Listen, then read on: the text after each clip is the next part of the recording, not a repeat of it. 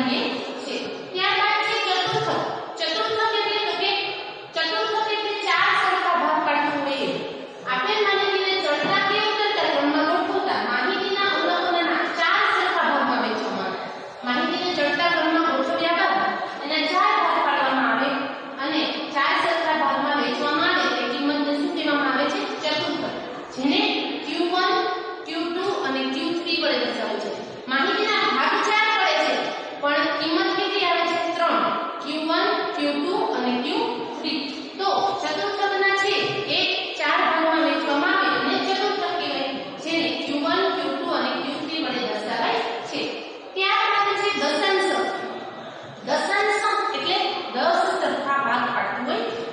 Маленький